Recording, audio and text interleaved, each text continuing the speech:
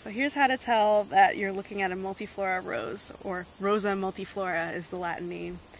Um, so it's got the, the typical uh, compound leaf that all roses have, where um, with the, the toothed leaflets. Um, but the really diagnostic feature is if you look at the, the base of the leaf, this whole thing being the leaf and these individual parts being leaflets, look at the base of the leaf and you can see um, this these little hairy uh, appendages there. Um, those are called uh, stipules. And all roses have stipules, and Multiflora rose is the only rose that has these hairy looking feathery stipules.